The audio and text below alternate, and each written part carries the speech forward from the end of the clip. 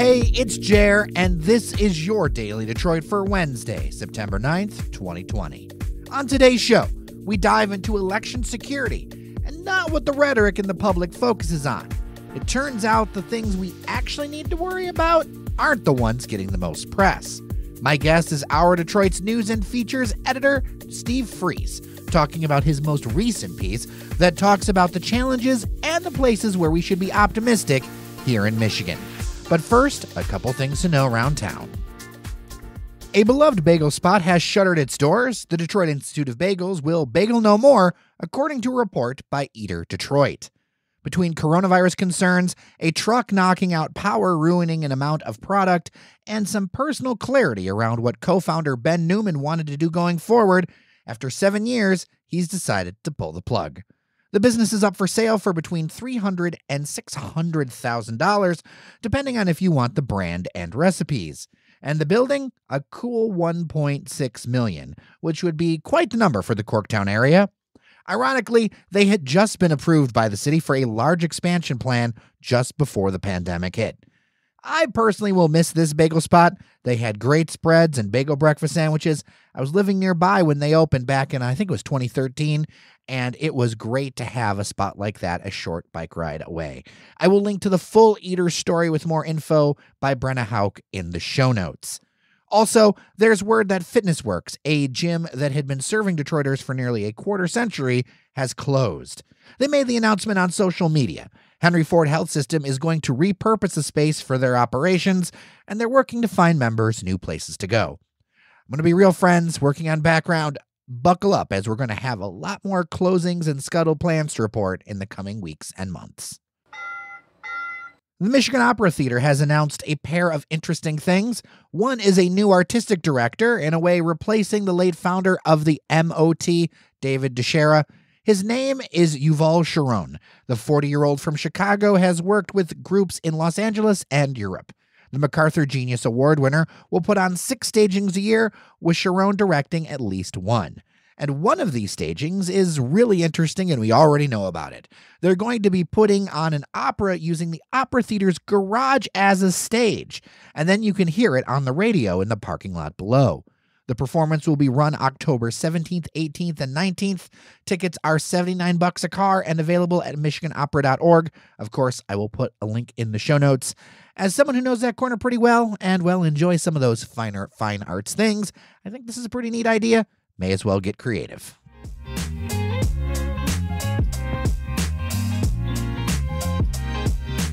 Joining me on the line is Steve Friess. He's the news and features editor at Hour Detroit and a contributor to Newsweek. Steve, welcome to Daily Detroit. Good morning. How are you? Excellent, excellent. I am excited to talk about this. You have a piece in uh, the most recent Hour Detroit magazine about election security. And I'm excited to talk about this specifically because there's so much rhetoric around election security, but there are actual things that are important to look at beyond kind of like the back and forth tweet storm. There actually has been a lot of work around uh, election security and, and a lot of concerns with technology. First off, Steve, how did you get interested in this topic? Actually, it's really interesting. I was a staff writer at Politico during the 2012 election when Hurricane Sandy hit New Jersey. And for the 2012 election, Governor Christie decided to allow everybody to email in their ballots from wherever they were because there were so many people who were displaced. And the idea that people could email their ballots, just put them in a normal email and send them over, seemed completely bonkers to me. And I started looking around to find out if election security people were concerned at all because we'd never really had any kind of full scale, quote unquote, internet voting before. And it just seemed like the most insecure possible way to do it. And it was ridiculous. It was like people were sending their ballots to dead box emails and it was bouncing back or it was people were uh, clerks were giving out their own private email addresses it was nuts and i thought it would be an interesting place to start to look at this question of whether we could do internet voting because people always say well you know we can bank online and we can do this online why can't we vote online and one of the things I found fascinating about it was that it was computer security people, the people who normally say, yeah, we can do anything, who were almost unanimous in saying internet voting, online voting is extremely risky. It is virtually impossible to secure. And also, by the way, there are all of these other problems with electronic voting machines, touchscreen machines, any place where there are ballots being cast without any paper. So that started a long run of coverage of election security for a lot of different publications. And what's interesting now is that as I talk about it, it seems so no brainer. Obviously, there are these security lapses, but only eight years ago, it was kind of virgin territory. I mean, there were obviously some tech reporters writing about it, but not a whole lot of political reporters writing about it. Why was there such a push to add so much electronic everything technology to voting? I mean, I remember when I first started to vote, I remember the big old machines with the big old levers that were like those giant, huge refrigerator size things. And then, you know, evolved eventually into like the, the ones where you poke your holes, and then other ones where you do like the dark mark in order to be able to figure out how you vote. Why is there uh, such a push to add extra electronics to all this thing when it seems like, at least to me, the paper ballot seems to be a rather secure thing? Well, it started primarily as an overcorrection to what happened in Florida in 2000. The idea that there were all these paper ballots and it was hard to tell what some voters intended. You remember the whole hanging chads and the, the picture of the guy with a magnifying glass oh, yeah, looking yeah. at the chad, trying to figure out what people intended to do. In addition to that, there were design issues with that ballot that meant that people were accidentally voting for Pat Buchanan when they intended to vote for Al Gore. And so there was this whole thing because that brought the country to its knees. I mean, that went to the Supreme Court. It ended up with a president that was not popularly elected. It was a whole thing. And so then the uh, the federal government put a, a whole lot of money into providing funding for electronic voting machines, electronic tabulators, and they're two different things.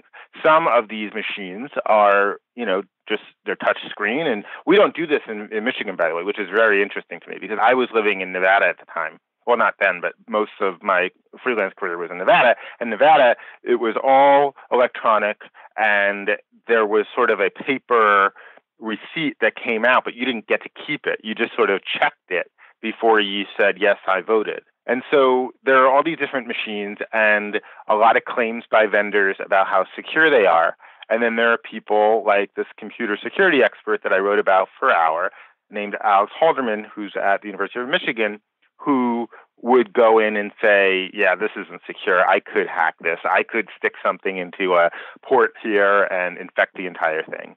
And then there was a, a, lot of argument over whether any of these machines and their processes were connected to the internet. And all of these clerks were insisting they weren't, but of course they really were uh-huh. Because there was transmissions of vote totals to different places.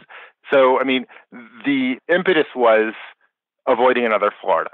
The problem is that as we tend to in this country, we overcorrect it. Mm what is the role of the clerks in these kinds of situations? Because i've seen a great variety in quality of mm-hmm. clerk over the years covering local covering local things in detroit. I haven't uh, really spread the country as you have. I've really you know been here. And what i have noticed is that depending on your city depending on your election year your clerk quality uh, as far as understanding technology or even like being focused on the job is wide to say the least. This is the perhaps biggest human vulnerability in American elections. We have probably the most decentralized election system in the world.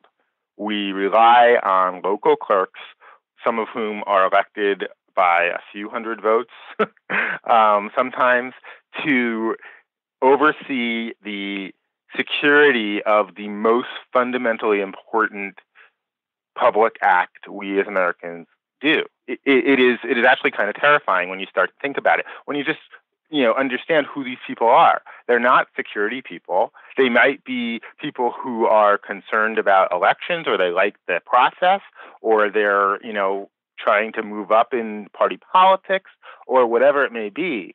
But it is exceedingly rare. I've never really heard of any elected clerk overseeing an election system that has any kind of an advanced degree in, in technology. And, you know, it kind of hit home to me, and this is in the piece that I wrote for Hour, because I am somebody who has been covering this for a long time. So it was quite a weird coincidence when I was at, I live in Superior Township, which is just east of Ann Arbor. And it's a small, sleepy little township. And my HOA board was having a meeting in the Superior Township meeting hall one day a year ago in June, and we went in there, and all of the ballot tabulating machines for the entire township were laid out on tables, just sitting there with their keys in them. They were plugged in. They were just there overnight for some reason. And it sounds small, but somebody who knew what they were doing could stick some software onto any one of those things. And then the minute that those machines are connected to a server to transmit the results of their counting. That software can go from Superior Township to the entire state easily. And and those things are terrifying. So yeah, it is one of the more troubling parts of all of this. And it also reminds you that Congress doesn't have as much power in this respect as you think. You would say, oh, well, how come the Congress isn't doing more to secure the elections? Well, the structure of our country does not really give Congress the power to do that much.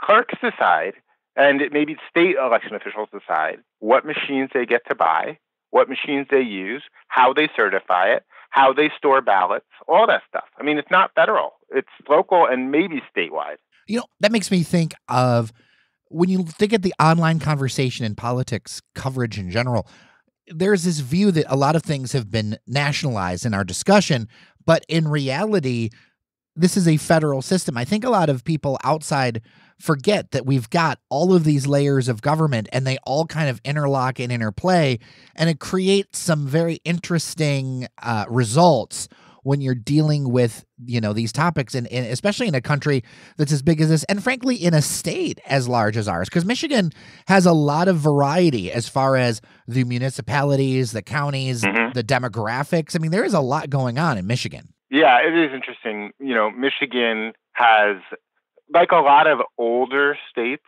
a lot of eastern states where there is just this like long long history of extreme local control, and that means dozens of school districts, dozens of townships with their own precincts, all that stuff. I mean, in Nevada, for example, you know, a relatively new state, there were 17 counties and there were 17 school districts and there were 17 county clerks. And so, yeah, there was a, a much broader control. Not not saying that they're necessarily any more secure, but my goodness, I mean, it is exhausting sometimes as a journalist to think about how many mayors there are around here. How, I mean, the Clark County, which contains Las Vegas, has five municipalities. That's it. Wow. And it's larger than New Jersey. Wow. You know, and I, I think about that too as far as getting things done like on a regional basis or working together between cities. It, it really also impacts our culture that we've had so many individual individual places and that also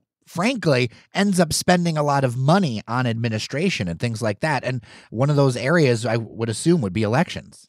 Yeah, I mean, absolutely. I mean, there's definitely a lot of duplication of effort. You know, you see it in a lot of different things. You see it in elections. You see it in things like mass transit. Mm, yeah. The idea that you have to patch together so many different elected bodies to approve of a mass transit service to cover a region like Southeast Michigan is is crazy. But that's an example of how micromanaged our local politics and policy are. And there's some charm to that, but there's also uh, ways in which it impedes a uniform process that would protect us all or serve us all better. And I think about this in the context of when we're talking about these elections, there's a lot of rhetoric flying around about mail in ballots and you see all this yeah. stuff that the president's saying and then all the stuff other people are saying. But it seems like to me that the security here is a much more salient issue and that it's something that clerks are paying attention to looking at your piece. I saw that Michigan has made at least some progress around some of this stuff. Well, you know, mail in ballot fraud, it's not non existent, but it is much easier to detect because it's just hard to do. And it's a very inefficient way for somebody trying to disrupt an election to do it. You have to go through specific people and specific ballots and match signatures. It would take an awful lot, and you'd have to know how many votes you need to shift. You'd have to do it without being detected. There's so much involved with it that serious election meddling doesn't happen at that level. It happens at the level of people trying to get into electronic systems where they can change large amounts of votes and do so undetected. And so that's where we all should be very worried. There are concerns about mail in ballots, but it's more about the sort of labor intensive effort to deal with them. Uh, you know, you looked at Detroit mm. during the August primary, and among other things, they were overwhelmed by mail in ballots, and our state doesn't allow any clerks to even open those envelopes until the day of the election. So they can't even get ready to shove them into counting machines. And then that means that it's going to take a lot longer to tabulate the vote. And we are a country that has become accustomed to the idea that election night is like the series finale. Like you're going to know who done it that night. And if you don't, then something's gone terribly wrong.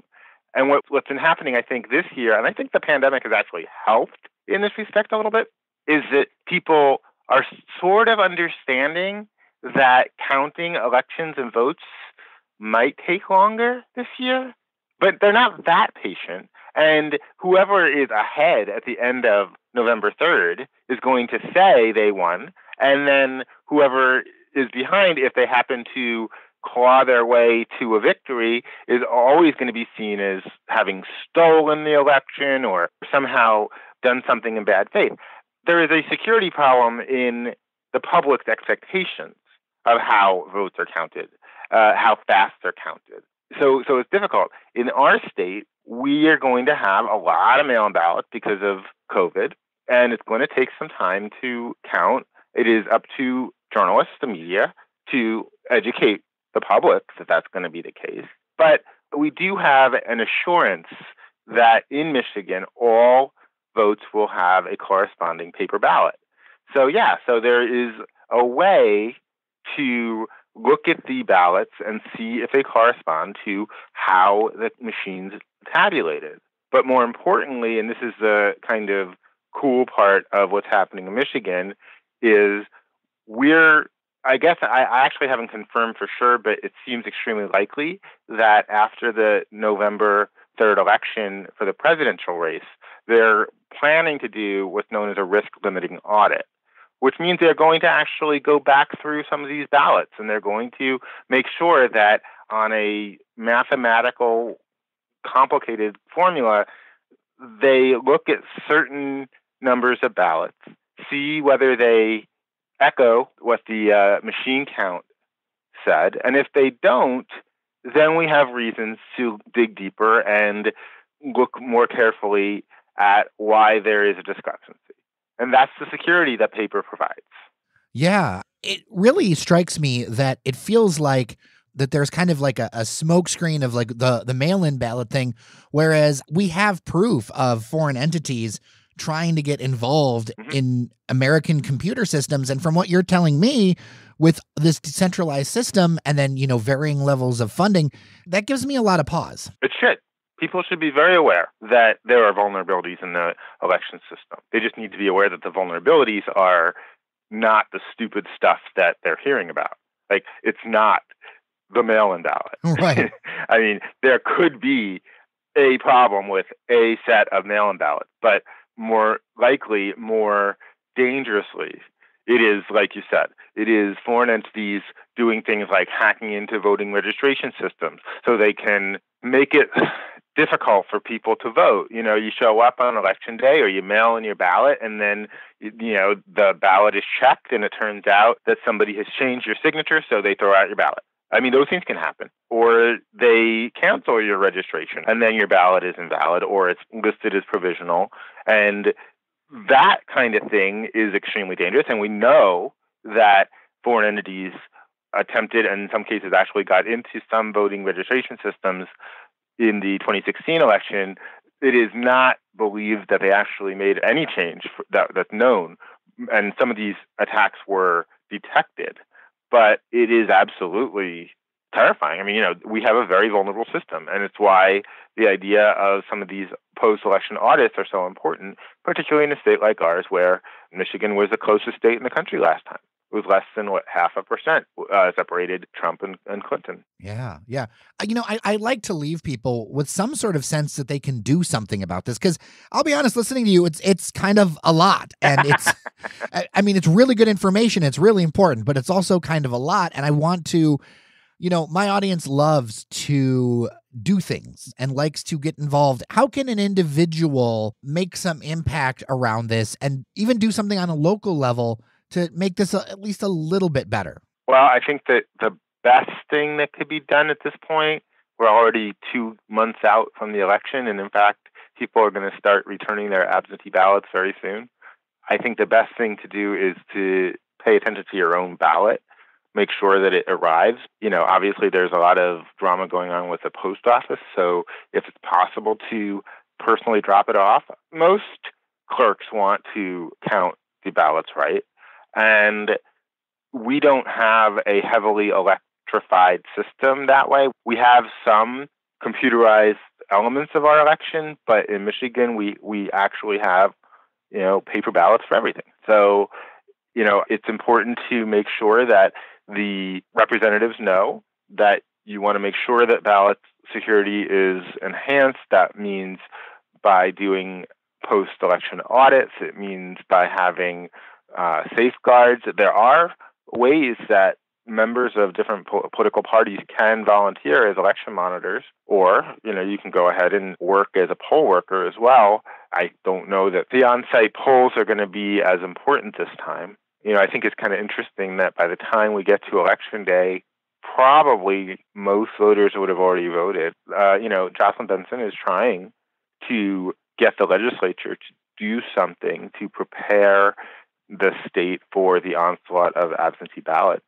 And, you know, other states do it. Other states allow for a certain level of not counting, but sort of preparation because it's a lot. It's a lot to open up all those envelopes and match all those signatures and make sure everything's correct and then feed them into the machines. And, you know, it takes a lot of time. And if we want to know what Michigan voted on election night, or at least, you know, within a day, the clerks need help. They need legislative help. I believe that, you know, if you have a representative who is not supporting that, mostly Republicans, it's a good idea to bug them about it.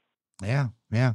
Well, I encourage people to read Steve's piece in Hour Detroit. Is Your Vote Secure? It's in the September 2020 edition. Beautiful pieces, always, you guys do over at Hour Detroit. Uh, Steve Friess, thank you so much for your time. I really appreciate it, and I hope we can talk again soon. I hope so too. It's been fun. Thank you.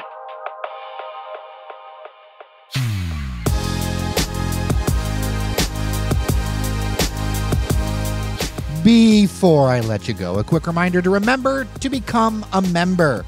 Paywalls mean quality information cannot spread to those who need it, so we do a value for value model here at Daily Detroit. That means those who can, we ask to support. It makes a huge difference, and that we can do this kind of community focused, in depth work and keep it free for everybody else. So if you value what we're doing and you want to make sure it continues and more people hear it, join us as a member at patreon.com slash daily Detroit. We have some neat swag for you. With that, I'm Jer Staes. Take care of each other, and we'll get through this together. Talk with you tomorrow.